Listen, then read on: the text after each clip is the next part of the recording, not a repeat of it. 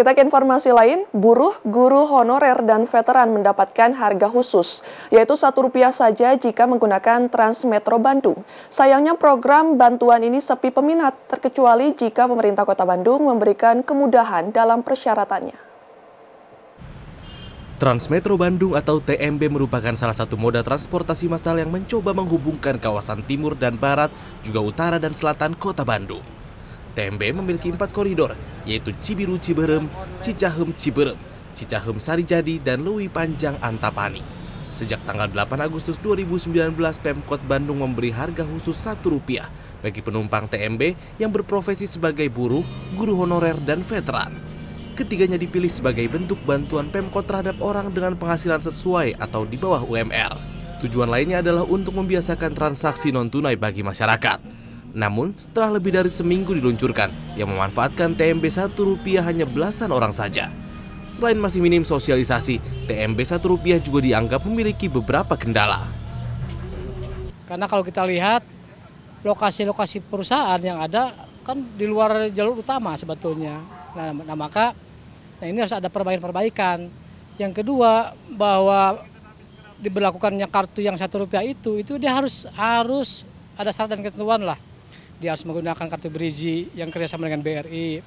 Yang kedua KTP Kota Bandung. Yang ketiga rekomendasi dari perusahaan, kartu anggota serikat buruh atau yang rekomendasi dari forum komunikasi serikat buruh.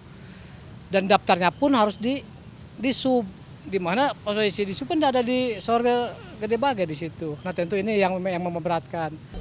Sementara itu aturan TMB Rp1 yang hanya dapat digunakan pada jam tertentu, yaitu di pagi dan sore hari saja juga dianggap memberatkan.